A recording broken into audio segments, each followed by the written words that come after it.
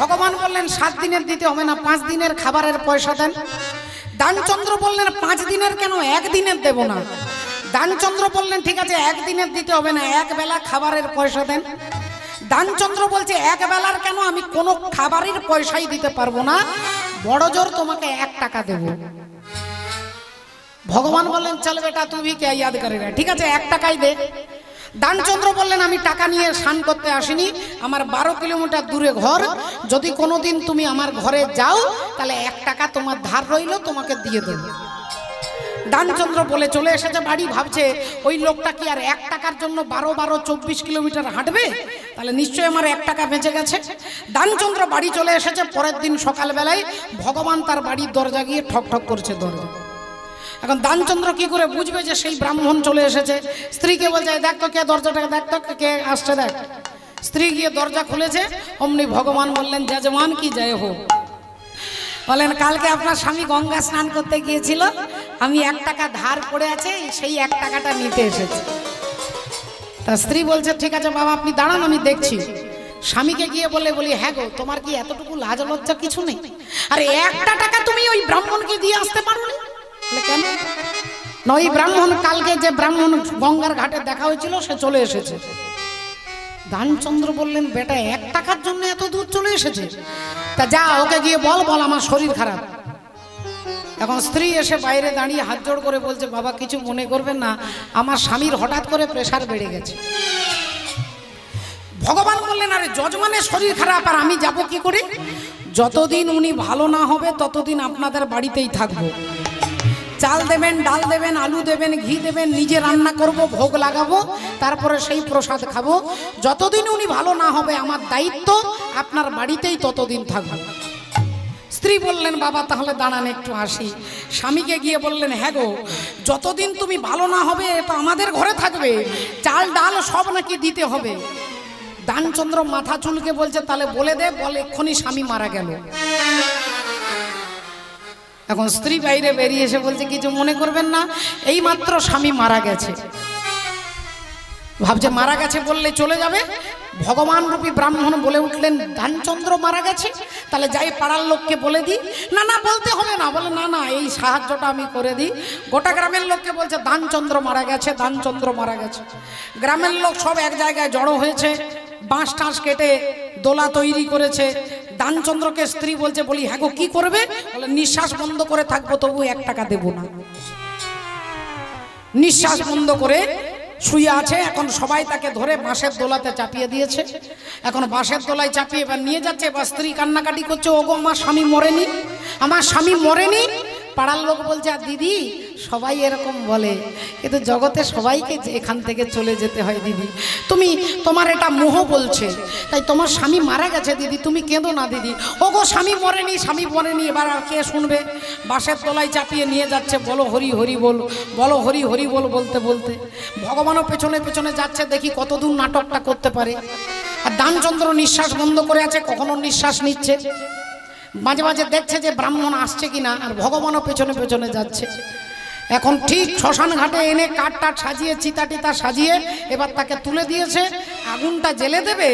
ভগবান দেখলেন এই বেটা বেঘরে পুড়ে মারা যাবে। আমি আমার ঠাকুর দাদার জন্মে এরকম কৃপণ দেখিনি। এরকম ঠাকুর দাদার জন্মে কৃপণ দেখিনি। ভগবান হেরে গিয়ে বলছে, কানে কানে বলছে, আমি বৈকুণ্ঠেশ্বর পরমাত্মা ভগবান হরি হে দানচন্দ্র, তুমি আমার কাছে কি চাইবে চাও? আমি ভগবান হরি, তুমি এত বড় কৃপণ, তোমার কৃপণতার কাছে আমি হেরে গিয়ে আমি এসেছি। বলো তুমি আমার কাছে কি চাও?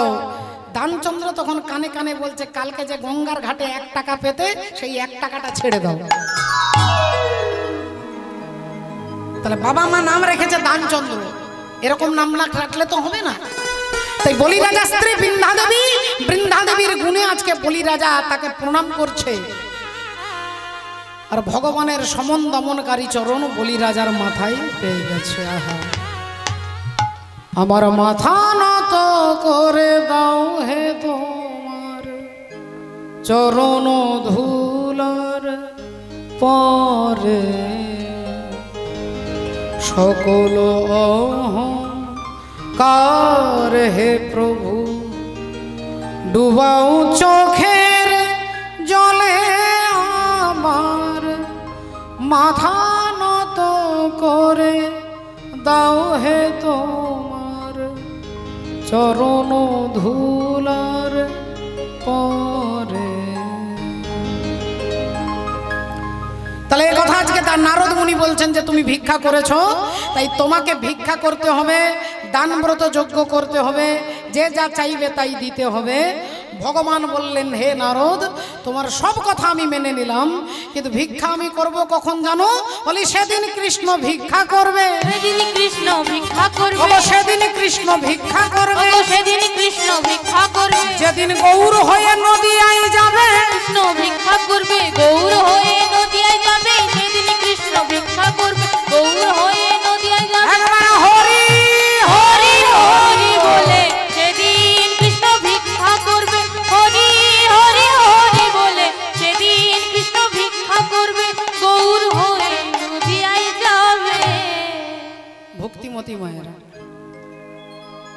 আজকে যার কথা শুনলেন দানচন্দ্র বাবু দানচন্দ্র নিনি ভজহরি। ভজহরি আউলিয়া মহাশয়, জ্যাঠামশাই, আপনাদের কাছে ভগবত সেবার জন্য ভিক্ষা করতে যাবে। আপনারা জানেন তার পরিস্থিতি। তিনি কিন্তু ভিক্ষা করার যোগ্য নন, কিন্তু ভগবানের সেবা দিতে গেলে ভিক্ষার দ্বারাই সেবা দিতে হয়। কারণ ভিক্ষার চালে ভিক্ষার টাকাতে কোনো অহংকার থাকে না। আর সেই ভগবত সেবাই লাগে, সেই কারণে তিনি আপনাদের কাছে ভিক্ষা নাচল নিয়ে যাবে। আপনারা যেমন পারবেন শ্রদ্ধা সহকারে ভগবত সেবার জন্য তার হাতে তুলে দেবেন। নিতাই গৌর প্রেমানন্দে হরি হরি। আজকে ভগবান মেনে নিলেন, সমস্ত চিঠি স্বর্গমর্ত পাতালের চিঠি নারদ মুনির হাতে দিয়েছে। আর নারদ মুনি আজকে চিঠি দেওয়ার জন্য যাচ্ছেন। যেথা প্রজাপতি চলিলেন প্রজাপতি চলিলেন অততি প্রজাপতি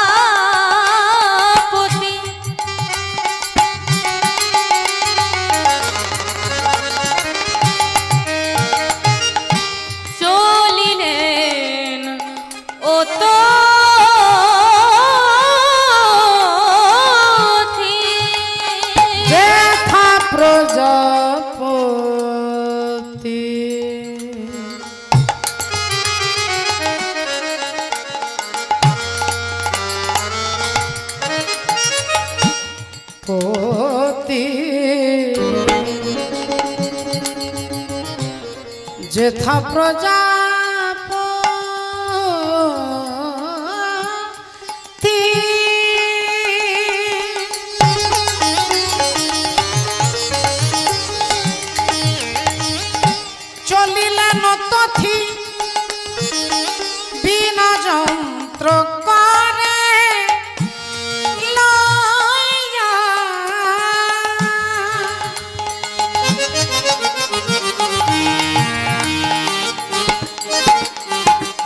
এ প্রজাপতি চলিলেন তথি বিনা যন্ত্র করে লইয়া। যেথা প্রজাপতি চলিলেন অতথি বিনা যন্ত্র করে নইয়া অগ বিনায় তান ধরি সবে মুগ্ধ করি। বহু পথে চলে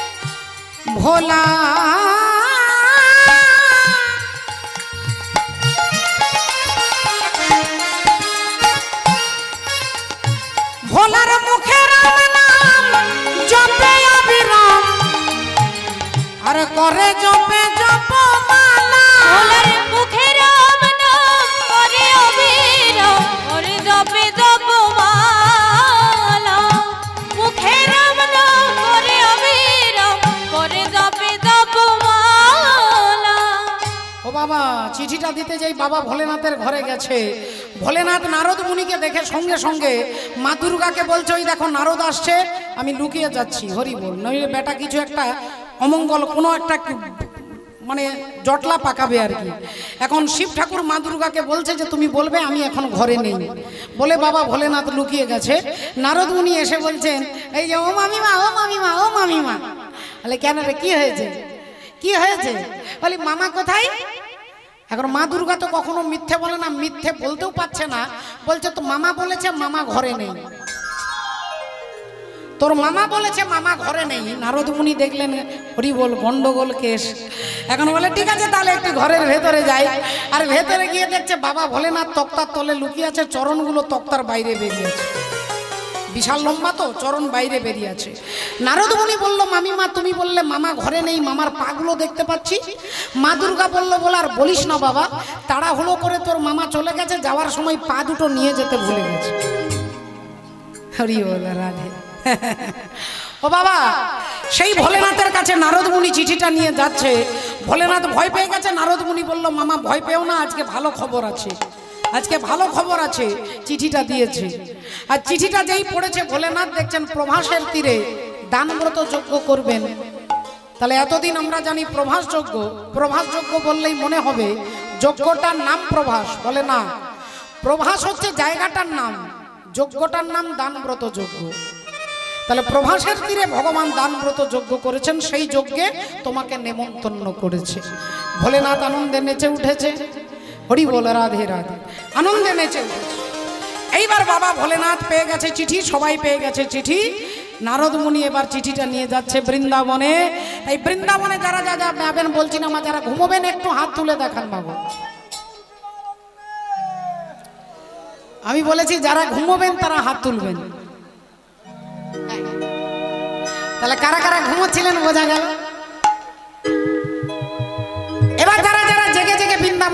একটু হাত তুলে বলুন, নিতাই হ্যাঁ ভক্তিমতী মায়েদের একটু মায়েদের, বাঁকুড়া জেলার মায়েদের ভোল্টেজ একটু বেশি হয়। আমি আজকে পরীক্ষা করে দেখব, এখানে মায়েদের ভোল্টেজ বেশি না বাবাদের ভোল্টেজ বেশি? প্রথমে মায়েদের জন্য বলবেন, আপনারা শুধু জয় বলবেন। বলো, রাধা রানী কি? ভোল্টেজ কত আছে? বত্রিশ হাজার। আমার মনে হচ্ছে এটা চল্লিশ হাজার হয়ে যাবে, আরেকবার সুযোগ দিলে হবে। আরেকবার মায়েদের জন্য সুযোগ বলো, রাধা রানী কি? চল্লিশ হাজার হয়ে গেছে। এবার বাবাদের দেখে নেব মায়েদের চল্লিশ হয়েছে, বাবাদের কত হয়? রাধে রাধে। এবার মায়েরা নয়, এবার বাবাদের জন্য বলো, রাধা রানী কি?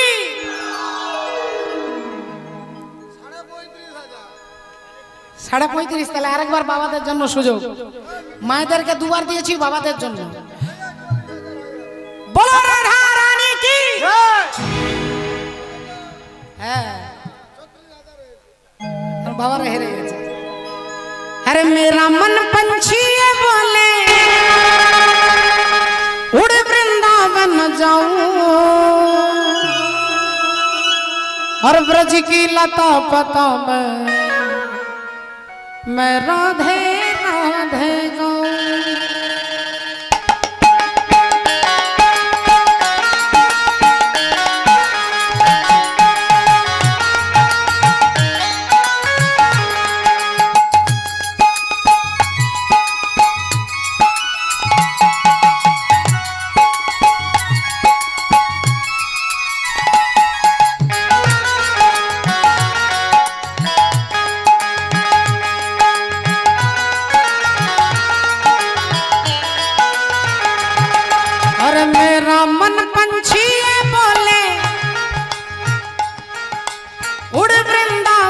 जाऊँ।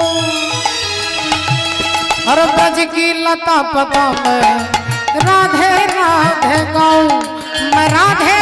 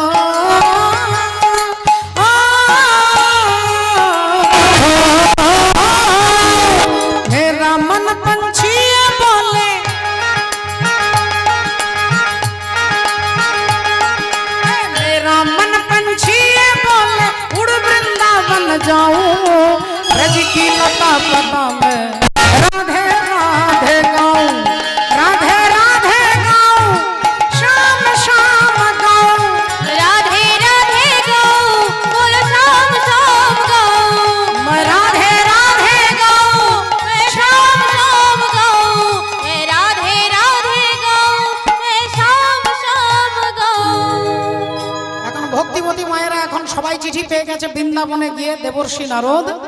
দেখছে সিদাম সুদাম, দাম বসুদাম সখাগণ, কানাই কানাই। এদিকে ও মায়েরা, ও মা, এখন দেরি আছে মাগো। নাকি বিছানা ডেক- ডাকছে আপনাদের? হরি বল। একটুখানি মাগো, কষ্ট করে বসুন আপনারা। এখনও শেষ হয়নি মা। এবার যদি এই কীর্তন ছেড়ে দিয়ে ঘরে ভাবছেন মশারির তলায় ঘুমোবো, তাহলে মা অভিশাপ দেবো, যেন সারা রাত্রি মশার কামড়ে ঘুম না আসে। আমায় যেতে হলো দেশ ছেড়ে মশার কামড়ে। হ্যাঁ একটু মা দয়া করে কষ্ট করে হরি বল, বসে পড়ুন। আজকে কি ঘটনা ঘটলো দেখুন এখন। কি হয়েছে? সিদাম সুদাম, দাম বসুদাম, তারা কাঁদছে কানাই কানাই বলে, নারদ মুনি চিঠিটা দিয়েছে। আর দিয়ে বলছেন, আপনাদের সখা প্রভাসের তীরে যজ্ঞ করবে। আপনি একটু দয়া করে, আপনারা যাবেন শুধু একটু দয়া করে বলে দিন নন্দরাজার বাড়ি কোনটা? শ্রীদাম দেখিয়ে দিচ্ছে এই যে যে রাস্তাতে এই যে জল গড়িয়ে যাচ্ছে। এই যে জল যে রাস্তা দিয়ে গড়িয়ে যাচ্ছে, এই জলটা যেই বাড়ি থেকে বেরোচ্ছে, ওই বাড়িটাই হচ্ছে নন্দরাজার বাড়ি। তো নারদ মুনি বললেন, এটা কিসের জল?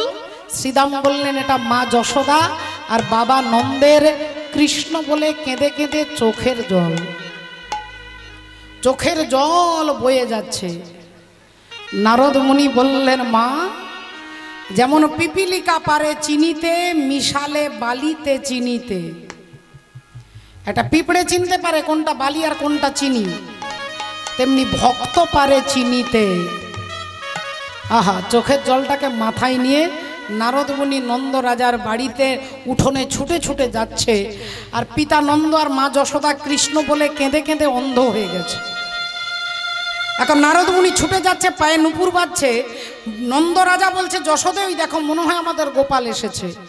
অমনি নারদমুনি বলছে ও মা আমি তোমার গোপাল নই মা আমি নারদমুনি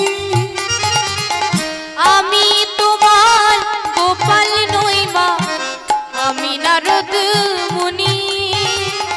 ওই প্রভাসের তীরে যজ্ঞ করে নিল মনি। প্রভাস তীরে করল যোগ্য ওরে মাগো আমি তোমার গোপাল নইমা। ওগো আমি তোমার গোপাল নই মা মাগো আমি হলাম নারদ মুনি। আমি তোমার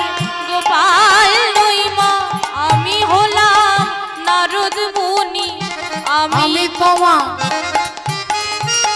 ওই প্রভাসের তীরে যোগ্য করে নিল মনি প্রভাস তীরে কর যোগ করে দিন এখন নন্দ রাজার হাতে চিঠিটা দিয়েছে মা যশোদা বলছে আমরা অন্ধ চিঠিটা পড়ব কি করে? নারদ মুনি বললেন, মাগো, মুকং করতি বাচালং পঙ্গুলং ঘয়তে গিরিম, যত কৃপা তমহং বন্দে পরমানন্দ মাধব। চিঠিটা নয়নে স্পর্শ করো, সব দেখতে পাবে। আর যেই চিঠিটা ছুঁয়েছে, অমনি মা যশোদা, পিতা নন্দ জানতে পেরে গেছে যে আমাদের গোপাল যজ্ঞ করবে। তাই আনন্দে ক্ষীর স্বর নবনী সব নিজের হাতে তৈরি করে গরুর গাড়িতে ভর্তি করেছে ভগবানের জন্য নিয়ে যাচ্ছে जरा देर ठहरो राम तमन्ना यही है अभी हमने जी भर के देखा नहीं है कौशल्या की आँखों की तारे दशरथ जी के प्राण दुल्हारे। कौशल्या की आँखों की तारे दशरथ जी के लाल दुल्हारे अभी अयोध्या हमारे नहीं है अभी हमने जी भर के देखा नहीं है আহা, আনন্দে সবাই যাচ্ছে এবার চিঠিটা নিয়ে রাধারানীকে দিয়েছে আর রাধারানী আজকে এতদিন পরে এত কাল পরে প্রাণ গোবিন্দের দর্শন হবে। এই আনন্দে মা হরি বল, রাধারানী সখীদেরকে বলছে, ওরে, তোরা আমাকে ভালো করে সাজিয়ে দে, আমি আমার প্রাণনাথের কাছে যাব। এতদিন কৃষ্ণ কৃষ্ণ নাম তোরা আমার কর্ণে শুনিয়েছিস। আহা। সব কিছু নিয়ে দিয়েছিলে আনন্দ, হাসি, গান, সব তুমি নিলে। যাবার বেলায় শুধু নিজের অজান্তে স্মৃতিটাই গেলে তুমি ফেলে। তুমি চলে গেলে। আমার বলো কিছু ছিল না। রাধা রানী বলছেন, ওরে সখী, তোরা আমাকে ভালো করে সাজিয়ে দে।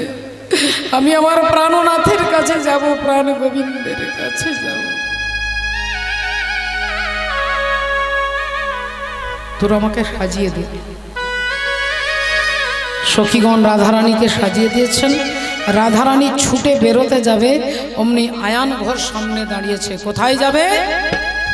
রাধারানী বললেন, আমি আমার প্রাণ গোবিন্দের কাছে যাব। আয়ান ঘোষ বললেন, আমার হাতে খড়গ আছে। তোমার একদিক কি আমার একদিক রাধারানী বললেন, ওরে আয়ান, আমি তোমার স্ত্রী নই বাবা। তুমি মায়াতে মোহিত হয়ে ভুলে গেছো। তুমি ভেবেছো আমার স্ত্রী।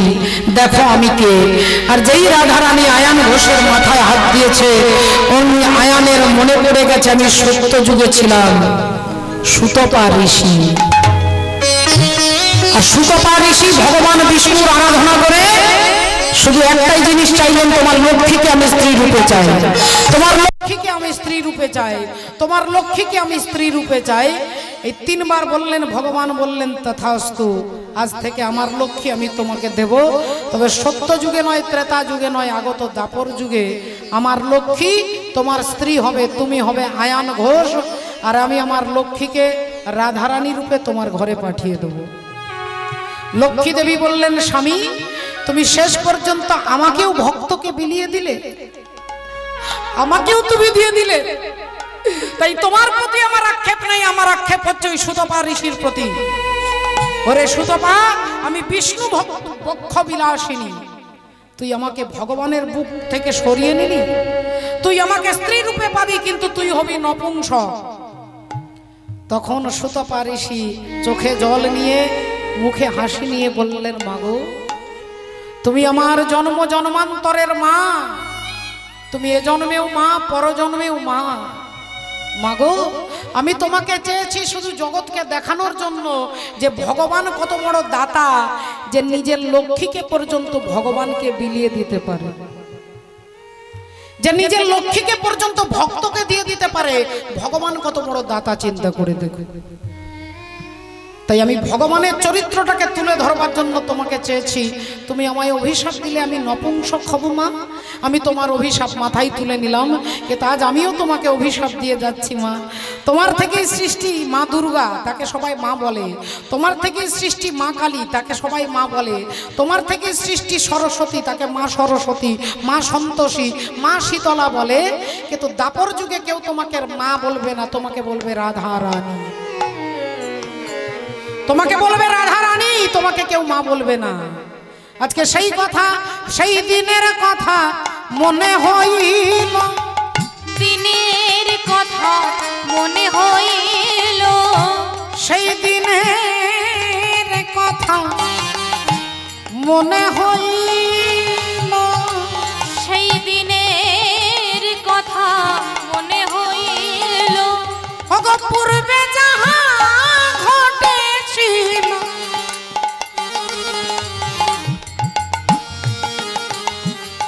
ওগো পূর্বে যাহা ঘটেছিল সেই দিনের কথা মনে পড়িল। ওগো পূর্বে যাহা ঘটেছিল মনের কথা মনে হইল। পূর্বে যাহা ঘটেছিল পূর্বের কথা মনে পড়ল সেই দিনের কথা মনে পড়ে গেছে, তাই আজকে আয়ান ঘোষ মা রাধারানীর চরণে আছাড় খেয়ে পড়েছে। রাধারানী আশীর্বাদ করে চলে যাচ্ছেন। যাওয়ার সময় দেখা হয়ে গেল কুটিলার সঙ্গে। কুটিলা বললেন, তুমি কোথায় যাবে? রাধারানী বললেন, ননদিনী, আজ আমি চলে যাচ্ছি, আর কোনো দিন আসব না। তাই বিদায় বৃন্দাবন, আমি চলে যাচ্ছি। যাবার আগে তোমার কাছে বলে যাচ্ছি, ননদী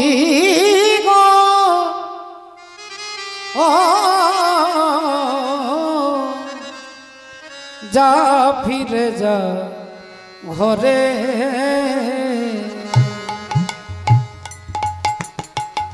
গণ নদী ও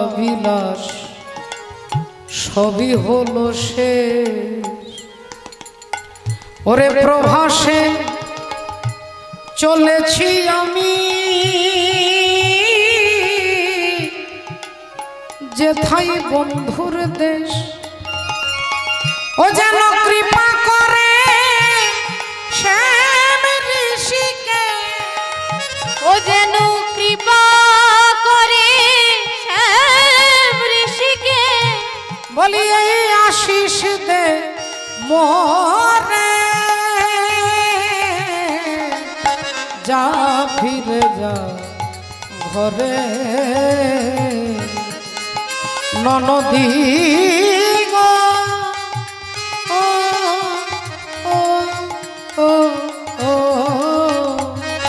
যা ফিরে যা ঘরে। ননদী, আর আমার জন্য তোমাদেরকে কোনোদিন কথা শুনতে হবে না। আমি আর বৃন্দাবনে আসব না। কিন্তু তুমি বিশ্বাস করো, ননদী, আমি আমার গোবিন্দ ছাড়া আর কিছু জানি না। আমি আমার গোবিন্দ ছাড়া কিছু জানি না।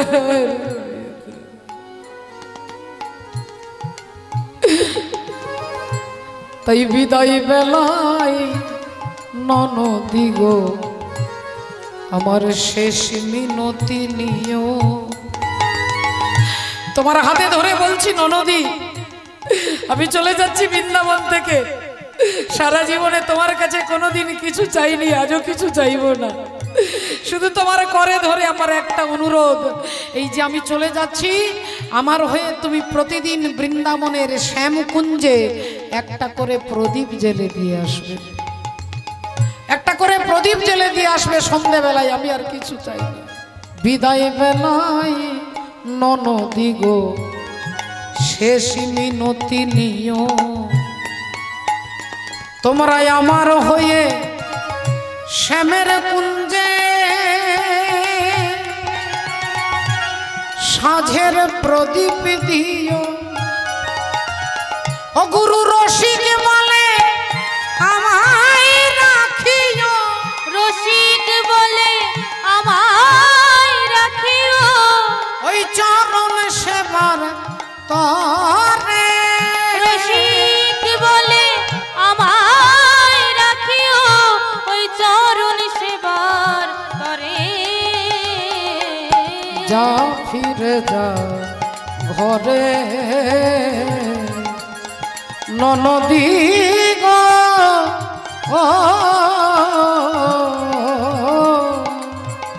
যা ফিরে যা ঘরে। যা, ফিরে যা, ঘরে।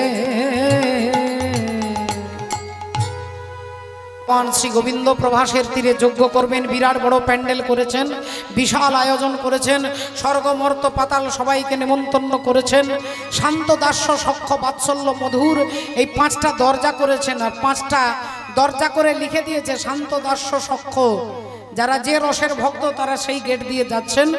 এমন সময় বাৎসল্য রসের দরজা। ওমা শান্ত রস কাকে বলে না, যেখানে ভগবানকে মনে করা হয় তুমি বিশ্বের নাথ? তুমি বিশ্বনাথ? যারা এইভাবে ভগবানকে ভজন করেন, তাদেরকে শান্ত রসের ভক্ত বলে। দাস্যরসের ভক্ত কাদেরকে বলে? বলো, হনুমান আদি। হনুমান মনে করে কি না, তুমি মালিক, আমি তোমার দাস।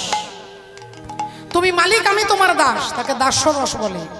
সক্ষরস কাকে বলে? বলে অর্জুনের মতো যারা ভগবানকে বন্ধু মনে করেছেন, তাদেরকে সক্ষরস বলে। আর বাৎসল্য রস যেখানে ভগবানকে ছেলে মনে করা হয়, যে তুমি আমার ছেলে, আমি তোমার মা। ভগবানের মা আমি। এই বোধ যার মধ্যে থাকে, তাকে বাৎসল্য রস বলে।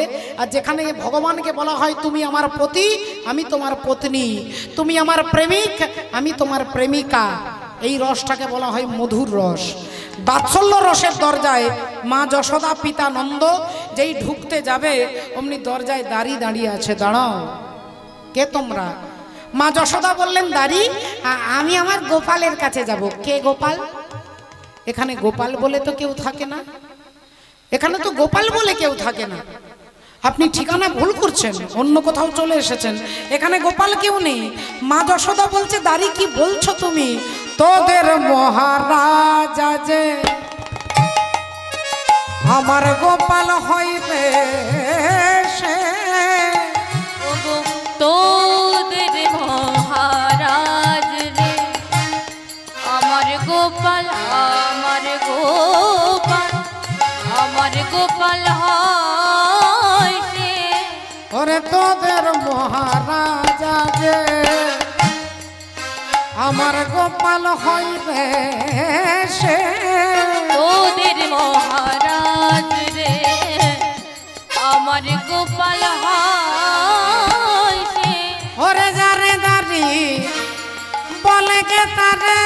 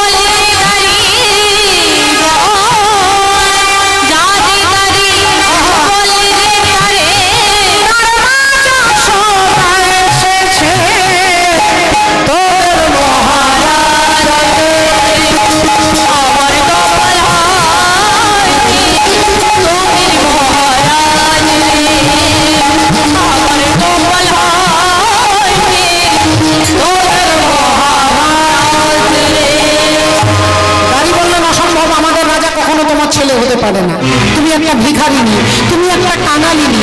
আমাদের রাজা হচ্ছে রাজা ধীরাজ। তোমার ছেলে হবে কি করে?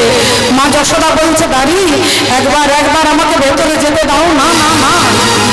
আমার চাকরি চলে যাবে। আমি তোমাকে ভেতরে যেতে দিতে পারি না। এখানে রাজা মহারাজারা এসেছে। মা যশোদা বললেন, ওরে দাঁড়ি আমি অনেক দিন অনেক দিন আমি আমার গোপালের মুখ থেকে শুনতে যাব তাই আমি তোকে বলছি একবার গোপালের মুখ থেকে মাথা শুনে আমি চলে যাব আমি চলে যাব মাথা শুনে একবার ভেতরে যেতে দাও অসম্ভব অসম্ভব ভেতরে যেতে দিতে পারি না। যেতে দিতে পারব না। দাড়ি বললেন, তাহলে এখান থেকে আমি কিছুতেই যাব না। এখান থেকে কিছুতেই যাব না। মা যশোদার কথা শুনে দাড়ি বললেন, তুমি এখান থেকে যাবে না? হাতে ছিল লাঠি, যশোদার পৃষ্ঠে আঘাত করেছে। আর পিঠে মেরেছে, মা যশোদা মাটিতে পড়ে গেছে। বলছে, ওরে গোপাল, তোকে দেখতে গেলে যে এত কষ্ট করতে হবে আমি জানতাম না বাবা। তোকে দেখতে গেলে যে এত কাঁদতে হয় আমি জানতাম না। রাধে রাধে। বলে, আদরের থেকে আঘাত ভালো, যে আঘাতে পাওয়া যায় কৃষ্ণ কালো। সংসারের দুঃখে যদি কেউ যদি মনে করেন যে সংসার ছেড়ে বৃন্দাবনে চলে যাব, তাহলে সংসার আপনাকে দুঃখ দিয়েছে, এটা আপনার ভাগ্য ভালো। আর সংসারের দুঃখে যদি কেউ সুইসাইড করেন, গলায় দড়ি দেন, বিষ খান, তাহলে আপনার দুর্ভাগ্য, এরকম জন্ম জন্ম আপনাকে মরতে হবে। বিভীষণ লাথি মারলেন, রাবণ, লাথি মারলেন বিভীষণকে। বিভীষণ উল্টে রাবণকে লাথি মারেননি। বিভীষণ একটা গালিগালাজ করেনি। বিভীষণ দাদার দিকে রেগে তাকায়নি। রাবণ লাথি মেরে দিলেন, বিভীষণ মাটিতে পড়ে গেলেন। আর মাটিতে যেই পড়ে গেল, অমনি হাসতে হাসতে ধুলো ঝাড়তে ঝাড়তে বিভীষণ চলে গেলেন রামচন্দ্রের কাছে। বিভীষণ বুঝতে পেরে গেলেন সংসারের আসল রহস্য। যে সংসারের জন্য আপনি সারা জীবন আপনি মুক্ত হস্তে সংসারকে আপনার যৌবন দান করলেন, সেই সংসার আপনার কাছে সব কিছু নিয়ে আপনাকে শেষের দিন ওই বারান্দায় একটা খাটিয়া পেতে দেবে। একটা খাটিয়া পেতে দেবে। তাই বললেন, আদরের থেকে আঘাত ভালো, যে আঘাতে পাওয়া যায় কৃষ্ণ কালো। মা যশোদাকে মেরেছে, মা যশোদা পড়ে গেছে মাটিতে, গড়াগড়ি দিয়ে কাঁদছে কৃষ্ণ কৃষ্ণ বলে, আর অমনি ভগবান ছুটে এসেছে। আর যেই ভগবান ছুটে এসে মা যশোদার কোলে বসেছে, দাড়ি ভাবছে তাহলে আমার চাকরি গেল। এ তো রাজা ধীরাজ এই ভিখারিনীর কোলে বসেছে। ভিখারিনীর কোলে বসেছে। এবার তাহলে তো আমার আমার মৃত্যু, আমার চাকরি গেল। ভগবান বললেন, সুদর্শন যেই সুদর্শন বলে ডেকেছে, সুদর্শন দাঁড়িয়ে গেছে। মা যশোদা বললেন, বাবা, তুই সুদর্শনকে ডাকলি কেন? বললেন, দাড়ি তোমাকে মেরেছে, ওই দাড়ির মুন্ডচ্ছেদন করা হবে। মা যশোদা বললেন, বাবা রে, ওই দাড়িকে মারিস না বাবা। ওই দাড়ির মতো বন্ধু এ জগতে আমার কেউ নাই। বন্ধু? ওই দাড়ি তোমার বন্ধু? বললেন হ্যাঁ যে তোমাকে মারলো সে তোমার বন্ধু যে তোমাকে আঘাত করল অপমান করল সে তোমার বন্ধু। মা যশোদা বললেন ও আমাকে মেরেছে বলেই তো তুই আমার কাছে এসেছিস। এতক্ষণ দরজার গেটের সামনে দাঁড়িয়ে আমি তোকে কত ডেকেছি তুই এলি না। আর যেই লাঠি দিয়ে মারলো অমনি তুই ছুটে এলি। তাহলে আদরের থেকে আঘাত ভালো যে আঘাতে পাওয়া যায় কৃষ্ণ হরি হরি রাধে রাধে। আহা। আজ মামা বলিয়া বৈঠল যাই। মামা বলিয়া বৈঠল যাই। আজ মামা বলিয়া বৈঠল যাই। মামা বলিয়া বৈঠল যাই। আর তা দেখি দেব কি আইল ভাই তা দেখি দেব কি আইল ধাই। তা দেখি দেব কি আইল ধাই। আর দেব কি ছুটে এসে বলছে এই গোপাল এই কার কোলে বসছিস হ্যাঁ? কাকে কার কোলে বসে মা বলছিস? আমার কোলে আয় বাবা। আমি তোকে জন্ম দিয়েছি। আমি তোকে পেটে ধরেছি। আমি তোর মা। আর যশোদা বললেন বাবা রে আমি তোর মা কিনা জানি না কিন্তু তুই আমার গোপাল। আমি তোর মা কিনা জানি না কিন্তু তুই আমার গোপাল। দুজনের ভাবের পার্থক্য লক্ষ্য করুন। দেব কি বলছে আমি তোর মা। আর যশোদা বলছে, তোর মা হওয়ার যোগ্যতা আমার আছে কিনা আমি জানি না। তাই আমি তোর মা কিনা জানি না, কিন্তু তুই আমার গোপাল। ভগবান বললেন, উভয় সংকটে কে মা হবে? একজন গর্ভধারিণী আর একজন পালনকারিণী, কে মা হবে? যোগমায়াকে ডাকলেন, যোগমায়া বললেন, প্রভু, একশোটা কাপড় দিতে হবে আর একশোটা কাপড় পরপর এভাবে টাঙাতে হবে। পরপর সাজিয়ে রাখতে হবে তুমি থাকবে ওপারে, তোমার দুজন মা থাকবে এপারে, আর যার স্তনের দুগ্ধ একশোটা কাপড় ভেদ করে তোমার মুখে পড়বে, তিনি হবেন তোমার মা। বলে ভালো কথা দেব কি ভাবছে, আমি পেটে ধরেছি, আমি বত্রিশটা নারী ছিঁড়ে জন্ম দিয়েছি, আমি নিশ্চয়ই তার মা। কিন্তু দেব কি ভুলে গেছে দেব কি বলে, যে সব সময় ভাবে, আমি দেব কি দেব কি দেব কি আমার তো কিছু নেই দেব কি কিছু নেই দেব কি আর যশোদা যশোদা মতি, বলে কৃষ্ণ যশে যার মতি, সেই হয় যশোমতি। দেবকী ভাবছে, আমি পেটে ধরেছি, আমি তোর মা। কিন্তু দেবকী ভুলে গেছে যে তিনি পেটে ধরেছেন, কিন্তু তার স্তনের দুগ্ধ ভগবান পান করেন। কারাগারে এলেন সেই রাত্রিবেলায় নন্দরাজার মাথায় চেপে। হরি বল বসুদেবের মাথায় চেপে চলে গেলেন গোকুল বৃন্দাবন। স্তনের দুগ্ধ পান করার সময় নেই, রাতারাতি পেরিয়ে চলে গেলেন। কেন? বলেন, ওই মা দেবকী ত্রেতা যুগে ছিলেন, মা কই কই? আর রামচন্দ্রের সেবার জন্য, খাবার জন্য এক বাটি দুধ মা কৌশল্যা ঠান্ডা হতে দিয়েছে। কই কই এসে লুকিয়ে ওই দুধটা মাটিতে ঢেলে দিয়ে বলছে, যেদিন আমি তোর মা হব, তুই আমার ছেলে হবি, সেদিন দুগ্ধ পান করবি। অন্তর্জামী ভগবান রাম বলেন, মা তুমি আমাকে ভালোবাসো, তুমি আমাকে চাও, তুমি চাও যে আমি তোমার ছেলে হই। আমি তোমার ইচ্ছে পূর্ণ করব মা, তোমার ছেলে আমি হব। কিন্তু যে দুধের বাটিটা তুমি উল্টে দিলে, কথা দিচ্ছি তোমার মা সন্তান হলেও তোমার স্তনের দুগ্ধ আমি পান করব তাই দেব কি ভাবছে যে একশোটা কাপড় টাঙিয়েছি, আমার দুগ্ধ গিয়ে পড়বে। আজ গরবে দেব কি সস্তন ধরে গরবে দেব কি শোষণ ধরি গরবে দেব বসন ধরি। আর প্রথম বসন ভেদ না করি। প্রথম বসন ভেদ না করি। প্রথম বসন ভেদ না করি। একটা কাপড় ভেদ করতে পারল না তার স্তনের দুগ্ধ। একশোটা তো অনেক দূরের কথা। আর যশোদার ভাবটা কি না তার তো অহংকার নেই। সে বলছে আমি তোর মা কি না জানি না কিন্তু তুই আমার গোপাল আজ যশোদা পরেতে পরশ করে। যশোদা পরেতে পরশ করে যশোদা পরেতে পরশ করে। যশোদা বনতে পরশ করে। শত বসন ভেদিয়া বদনে পড়ে। শোন ভেদিয়া পরশে বনে শত বসন ভেদি মদনে পড়ে। একশোটা কাপড় ভেদ করে ভগবানের মুখে পড়েছে। আহা রাধে রাধে। একশোটা কাপড় ভেদ করে ভগবানের মুখে দুগ্ধ পড়েছে। প্রমাণ করে দিলেন যে শুধু জন্ম দিলে মা হয় না মা। মাতৃত্বের মাতৃ মাতা, তার মাত্রা জীবনের মাত্রাটাকে এঁকে দেওয়ার দায়িত্ব আপনার। সন্তান জন্ম দেওয়ার জন্য অন্য কিছু আপনাকে করতে হবে না বাবা, এ তো কামের দ্বারা জন্ম হয়ে যাবে। কিন্তু কামের দ্বারা যদি সন্তান আসে, তিনি হবেন জল্লাদ, আর যিনি নামের দ্বারা আসবে, তিনি হবেন প্রহ্লাদ। আপনার সন্তান কিসের ওপরে বড় হবে, কিসের ওপরে প্রতিষ্ঠিত হবে, সেটা দায়িত্ব মায়ের। এই জন্য মাকে বলছে, জননী, জন্ম ভূমিষ্ঠ সারগাদপি গরিয়সী। তাহলে মায়ের এত বড় ভূমিকা, শুধু জন্ম দিলে নয়, আপনি তো জানেনই না যে আপনার পেটের ভেতরে মেয়ে আছে না ছেলে আছে। আপনি নিজেও জানেন না, জন্মের পরে জানতে পারছেন। বলে, মহানত্ব শুধু জন্ম দিলে নয়, আপনি প্রতিষ্ঠিত করতে পারবেন, আপনার সন্তানকে ভগবত চরণে নিবেদন করতে পারবেন। ভক্ত ধ্রুব তার বাবার কোলে বসতে গিয়েছিলেন। বাবা উত্থানপাদ, তার দুই স্ত্রী। সুরুচি আর সুনীতি নীতি। সুনীতির পুত্র হচ্ছে ধ্রুব আর সুরুচির পুত্র হচ্ছে উত্তম। বাবার কোলে ছেলে বসতে গেল, সৎমা সুর রুচি বলল, যেদিন সাধনা করে আমার পেটে জন্ম নিবি, সেদিন তোর বাবার কোলে বসবি। বাচ্চা ছেলে পাঁচ বছরের ছেলে মায়ের কাছে কান্নাকাটি করছে, মা, আমার বিমাতা আমাকে এই এই বলল।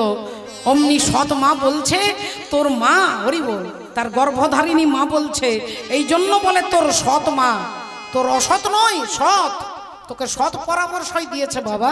চলে যা জঙ্গলে হরিভজন করতে। পাঁচ বছরের ছেলে জঙ্গলে হরিভজন করতে এলেন।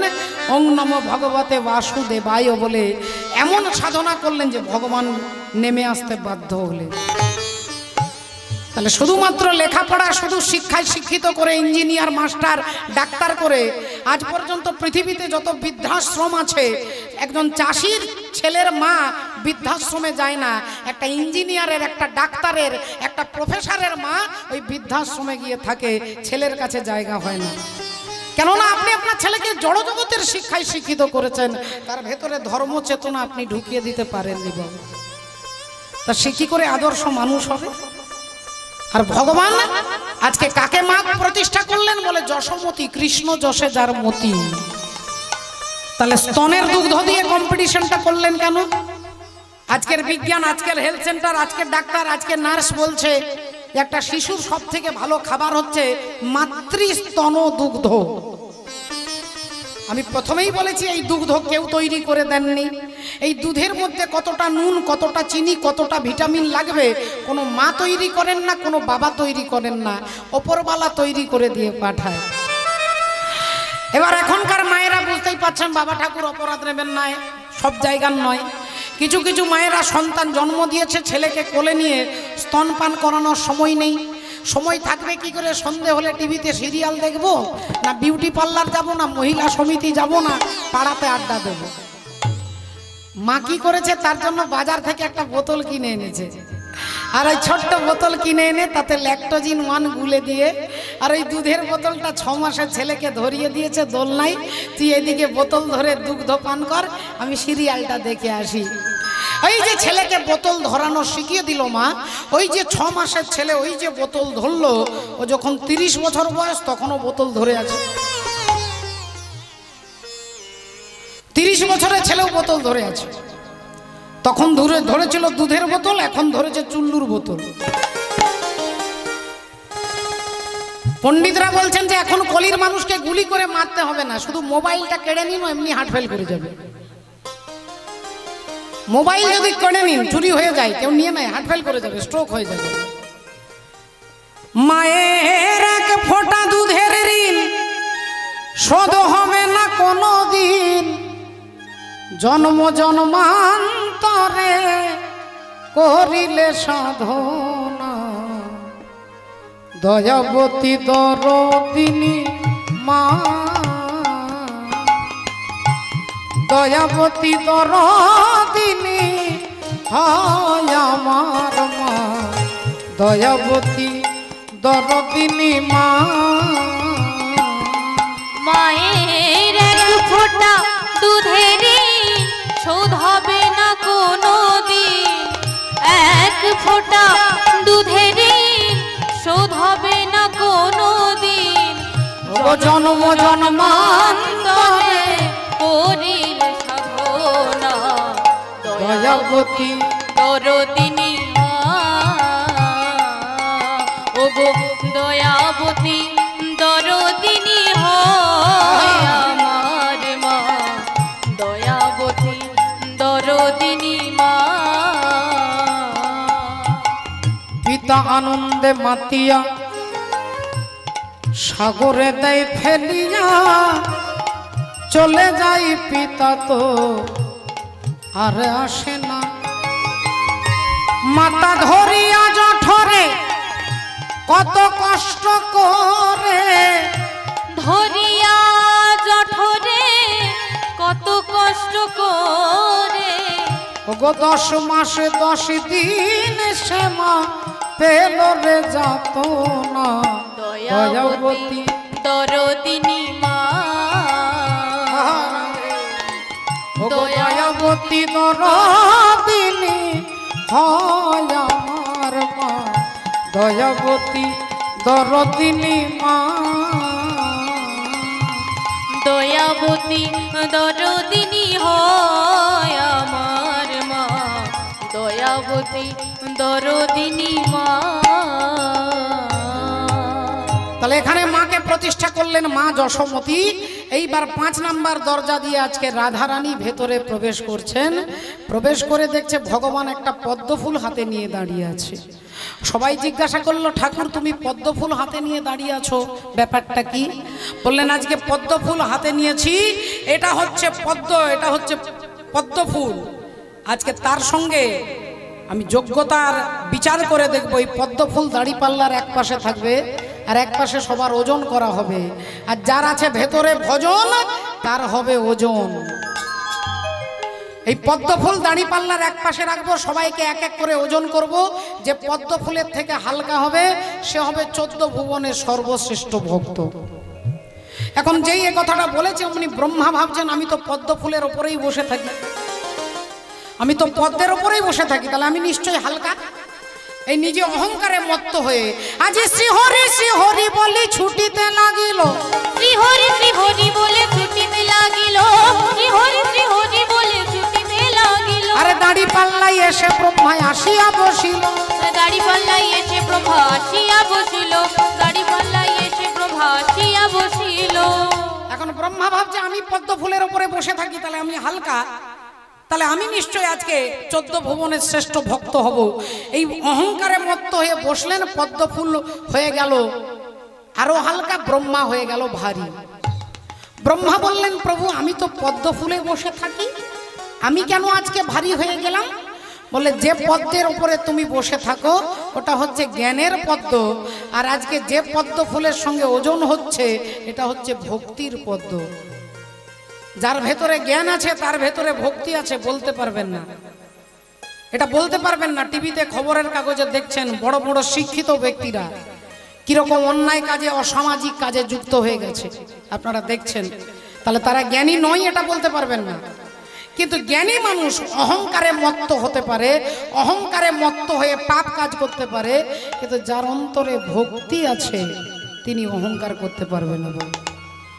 তুমি যে পদ্ম ফুলের উপরে বসে থাকো, তোমার মধ্যে হরি বল, ওটা জ্ঞানের পদ্ম। তুমি ভারী হলে কেন বলে তোমার মধ্যে কাম আছে? ভারী হয়ে গেছেন নিচে নেমে গেছে। বাবা ভোলেনাথ আসছে, তিনি বসলেন, তিনিও ভারী হয়ে গেলেন।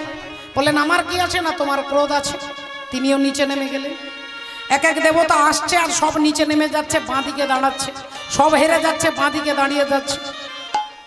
ভক্তিমতী মায়েরা কুমোরপাড়ার গরুর গাড়ি, বোঝাই করা কলসি হাড়ি, গাড়ি চালায় বংশীবদন, সঙ্গে যে যায় ভাগ্নে মদন বিশ্বকবি রবীন্দ্রনাথ ঠাকুরের লেখা।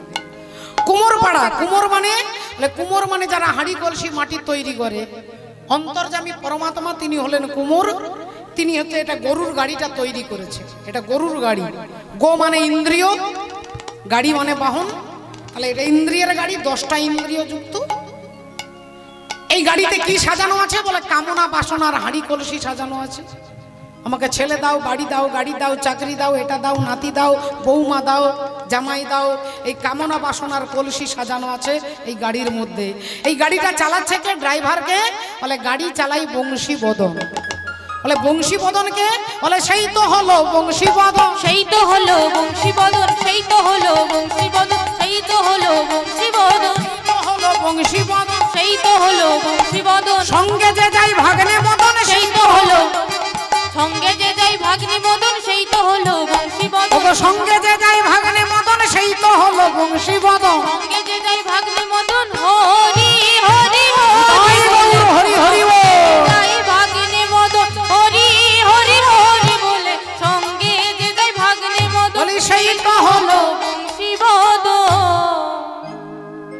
হাট বসেছে শুক্রবারে। সোমবারে নয়, মঙ্গলবারে নয়, বুধবারে নয়, বৃহস্পতি নয়, শুক্রবারে। শুক্র, তাহলে গোটা দেহটাই তৈরি হয়েছে শুক্র আর শনিতে। শুক্র আছে বাবার দেহে, আর শনি তো মানে রক্ত হচ্ছে মায়ের দেহে। এই রজে আর বীর্যে এই দেহ হাটটার জন্ম হয়েছে শুক্রবারে। মাননীয় ভক্তমণ্ডলী ভক্তিমতী মায়ের। তত্ত্বদর্শী মহাজন এই জন্য বলছেন এ মনে বাবলা গাছের কষ লেগেছে। ও গুরু ধুইয়ে দাও জ্ঞান সাবানে। গুরু আমার মনের ময়লা যাবে কেমনে?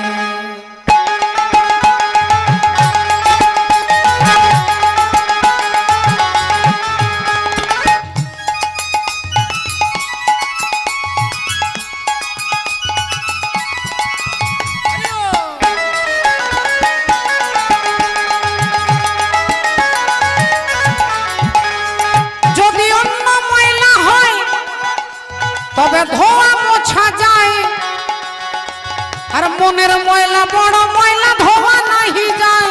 মনের ময়লা বড় ময়লা ধোয়া নাহি যায়। মনের ময়লা বড় ময়লা ধোয়া নাহি যায়। ও যার কুক্ষেনে হয়েছে জনম। ও কথা কই কই সে তো শোনে না। গুরুই আমার মনের ময়লা যাবে কেমনে? গুরুই আমার মনের ময়লা যাবে কেমনে? গুরুই আমার মনের ময়লা হরিব জয় জয় শ্রী রাধে। তাহলে সবাই যখন ভারী হয়ে গেছে, তখন চন্দ্র দেবতা ভাবছে, তাহলে আমি একটা কিছু করে দেখাই।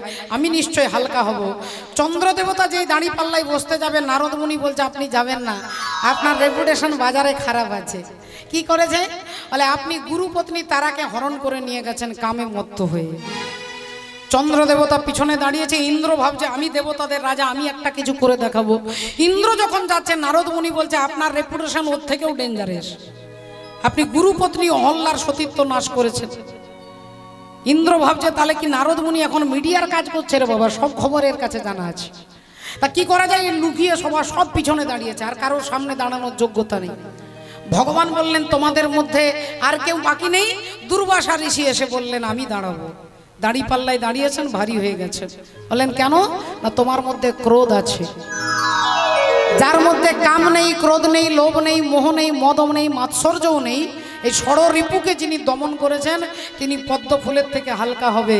বলে, তাহলে এখানে কেউ নেই? অমনি ভিড়ের মধ্যে থেকে একজন পেছন ফিরে হাত তুলে বলছেন, আমি আছি। সবাই তাকিয়ে দেখছে, শ্রীমতী রাধারানী হাতটা তুলে বলছে, আমি আছি। ভগবান বললেন, তুমি এসো, এসে দাঁড়িয়ে পাল্লায় দেখাও। তুমি হালকা না ভারী সবাই দেখবে। রাধারানী বললেন, সবাই তো দেখবে, কিন্তু আমি একা যাব না, সঙ্গে আটজন সখী যাবে।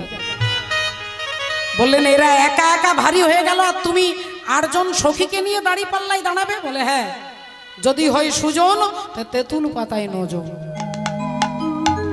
এবার রাধারানী এসে যেই অষ্ট সখীকে নিয়ে দাঁড়িয়েছে, অমনি পদ্ম ফুল ভারী হয়ে গেছে, এরা হালকা হয়ে গেছে। এতক্ষণ দেবতারা ভাবছিলেন যে নজন যাবে বলছে নজন যাবে, এদের বুদ্ধি নেই, এরা তো গোয়ালা জাতি, আশি বছরের বুদ্ধি হয়।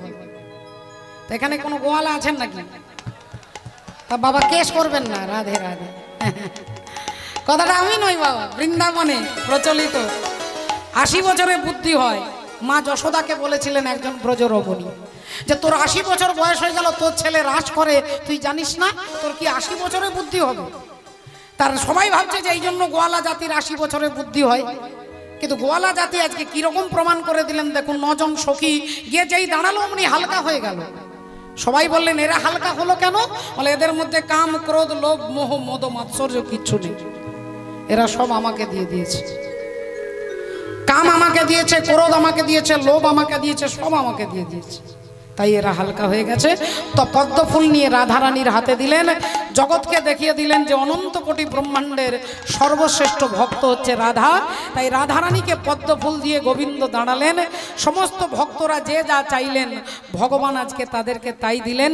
এই হরিবাসরে, দানব্রত যজ্ঞের বাসরে আপনারা মায়েরা, বাবারা তীব্র আকর্ষণে আকর্ষিত হয়ে এসেছেন। আপনাদের অভিলাষ আজকে অন্তর্জামী ভগবান পূর্ণ করবেন এ কথা আমি বানিয়ে বলব না বাবা।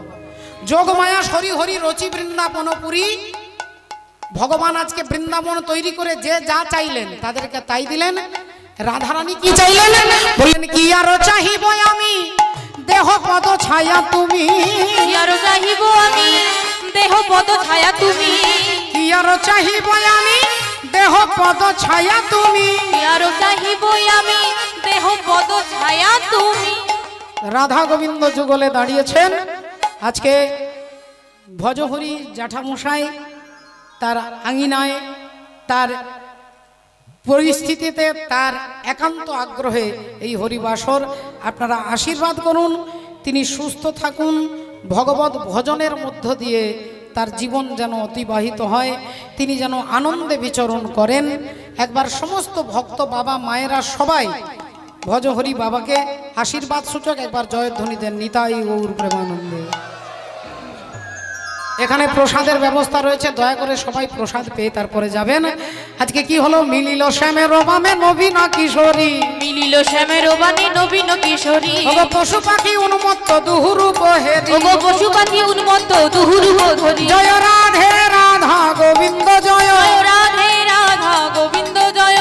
রাধে রাধা গোবিন্দ জয়।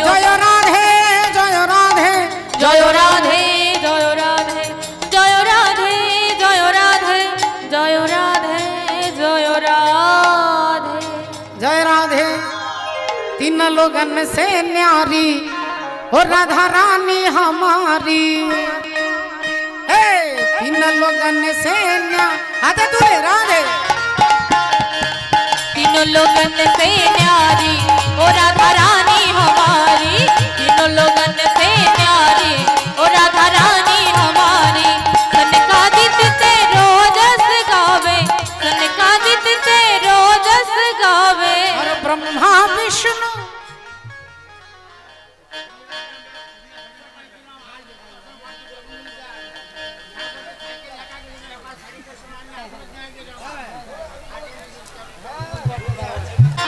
সোনা চাঁদর মহ কড়া চাঁদর সোনা চাঁদর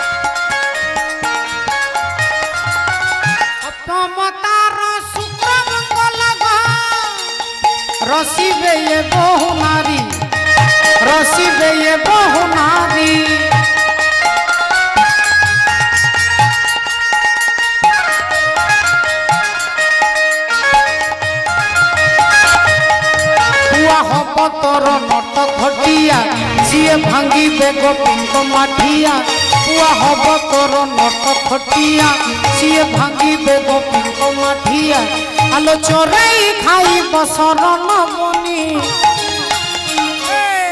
তোতে কন্দে মারিবে এলো, যশোদা রানী তোকে হি মারিল নুতেনো যশোদা রানী মোরে কোড়া চাদর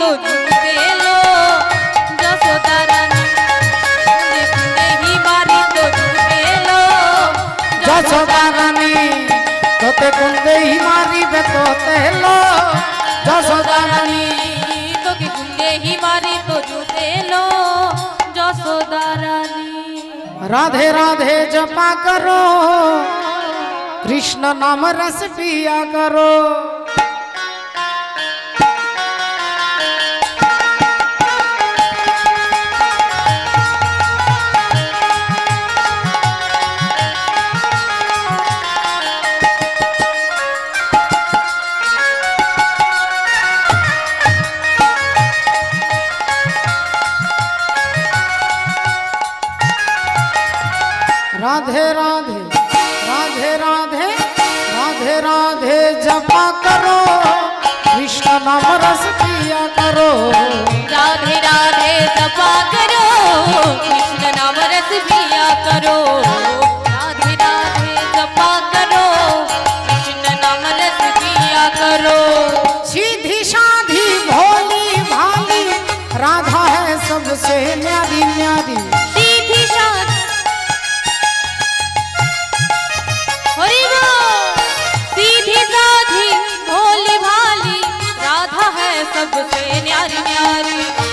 बिंदु बरसाया करो। राधे राधे क्षमा करो। कृपा बिंदु वर्षाया करो। राधे राधे दफ़ा करो। राधे राधे दफ़ा करो।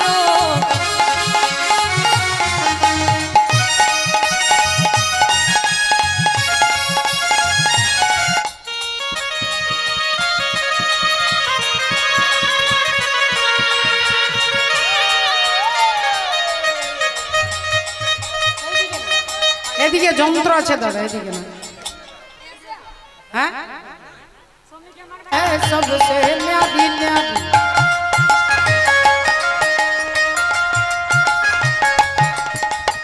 सीधी साधी भोली भाली राधा है सबसे न्यारी न्यारी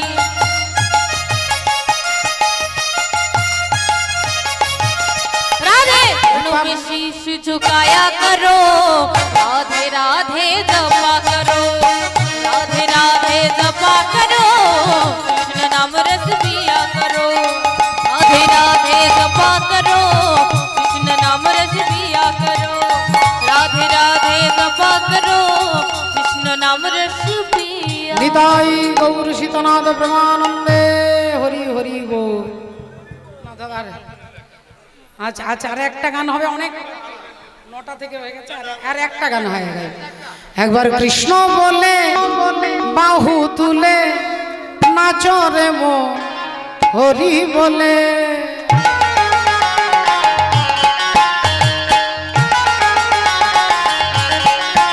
হে কৃষ্ণ বলে বাহু তুলে নাচরে মো হরি বলে।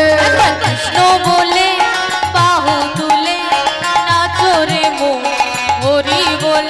তোরা আয় আয় আয় আয় আয় আয় ভাই। চল চল চল চল বৃন্দাবনে চল। তোরা আয় আয় আয় আয় আয় আমার ভাই। তোরা চল চল চল চল বৃন্দাবনে যাই কৃষ্ণ বলে বাহু তুলে নাচরে মো